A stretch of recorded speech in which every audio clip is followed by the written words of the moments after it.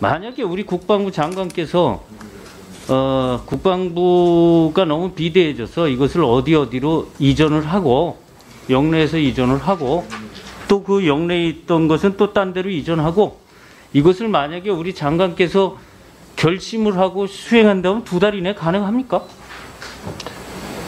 어, 뭐 이제 정상적인 절차라면 그렇게 하지 않을 걸로 보입니다. 그렇죠.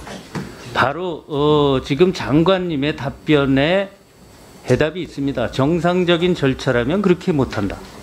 지금 정상적이지 않다는 얘기예요. 한번 볼게요. 어, 대통령 집무실이 느닷없이 광화문 시대를 주창하다가 느닷없이 용산 국방부로 찍었습니다. 그건 용산 오늘 용산 어, 구청장께서도 아닌 밤중에 홍두깨라고 얘기했고요. 그리고 국방부야말로 아닌 밤중에 홍두깨가 된 거죠.